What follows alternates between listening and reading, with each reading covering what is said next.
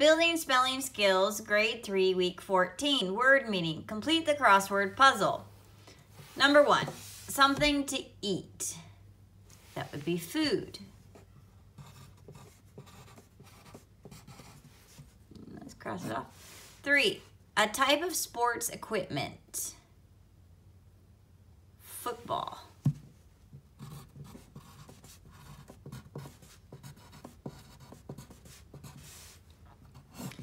Seven, a small stream. A small stream is a brook.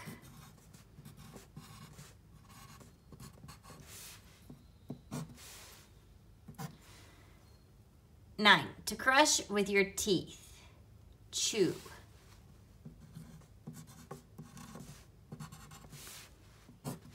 Ten, the opposite of bad. Good.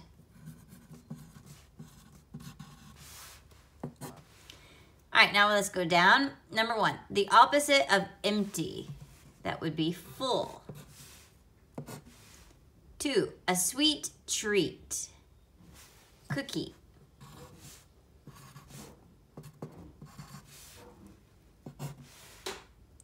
Four, always tell the truth.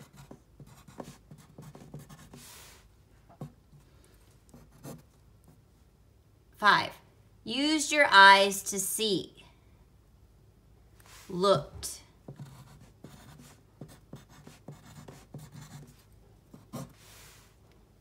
Not a lie. True. Where you go to learn.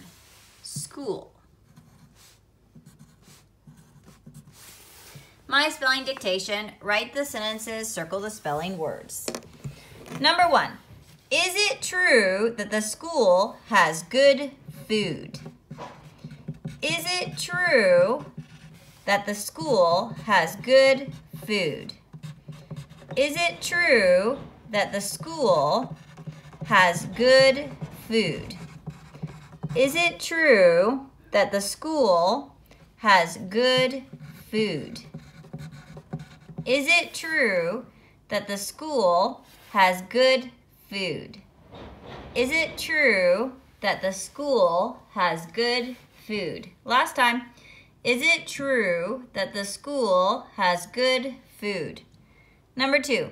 Maggie chewed on cookies until she was full. Maggie chewed on cookies until she was full. Maggie chewed on cookies until she was full. Maggie chewed on cookies until she was full. Maggie chewed on cookies until she was full. Maggie chewed on cookies until she was full. Last time, Maggie chewed on cookies until she was full. Number one, is it true that the school has good food? Is needs to be capitalized. We need a question mark at the end of the sentence, and our spelling words are true, school, good, and food. Number two, Maggie chewed on cookies until she was full. You're probably not going to know how to spell Maggie. Maggie is capital M A G G I E. But Maggie needs to be capitalized.